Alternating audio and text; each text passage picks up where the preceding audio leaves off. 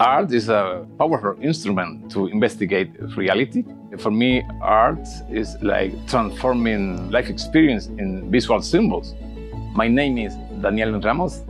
I am a Puerto Rican artist.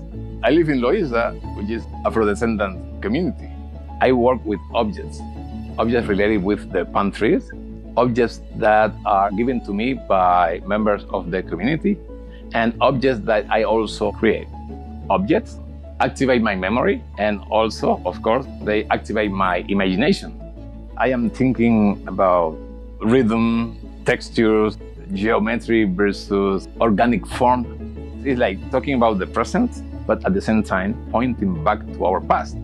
We are here experiencing life, and if you see the history of, of art, is that human beings in time and place expressing themselves about their point of view from what they are experiencing in life. And wow, it's great.